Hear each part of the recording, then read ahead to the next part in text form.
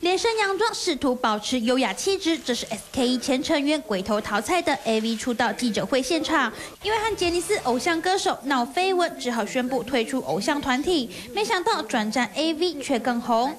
S.K.E 四八前成员鬼头桃菜近日改名三上优亚，投身 A.V 界。作品推出没多久，随即抢下二零一五年上半年销售冠军，让当初捧着千万签约金押宝的片商乐翻了。因为被认为躺着就很赚的 A.V 产业，其实正面临市场萎缩的冲击，而这点苍井空最知道。苍井空铺料，他居然不知道自己赚了多少钱，原因是苍井空每个月都领固定月薪，而且不超过一百万日元。所以她不是传说中的小富婆啦。虽然粉丝高达一千五百九十万，但受到日本高龄少子化、盗版以及网络档案共享网站兴盛影响，曾经拥有五千亿日元规模的 AV 产业，目前只剩下五百亿日元的规模，让女优们不得不转战海外市场。